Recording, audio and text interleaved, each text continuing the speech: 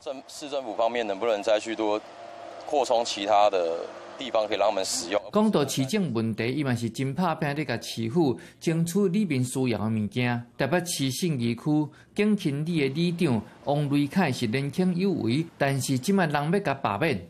前是有一个女朋友，后来他们结婚嘛，啊啊，他是被被扶起来做里长，是他丈母娘嘛。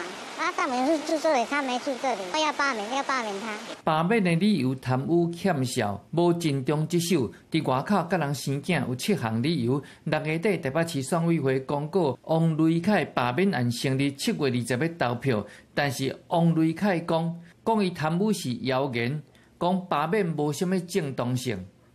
北市警勤里里长王雷凯遭指控贪污、上呼职守等七项罪名，如今罢免案正式成立，将在七月二十号正式投开票。实际来到了里办公室，也不在。早上都没人，不太找不到人。转接语音信箱，嘟声后开始计费。里长的手机啊，也是讲李干事的电话卡机拢无人接，因为王雷凯二零二四年选举的时阵是支持齐卡心，有人认为讲先罢免王雷凯，再个对付齐卡心。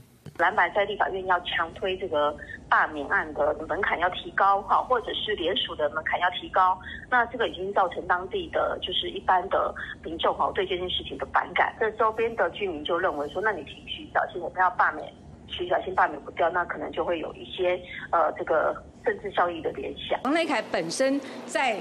呃，这个立委初选的时候是支持费鸿泰的，并不是支持徐巧芯的，所以说王雷凯的罢免案跟徐巧芯扯上关系，那是完全不成立的。虽然关系到哪里个政治斗争，但是里长是基层的干部，真侪争议拢无去解决，可能嘛，互地方的里民伤心。民事新闻台北报道。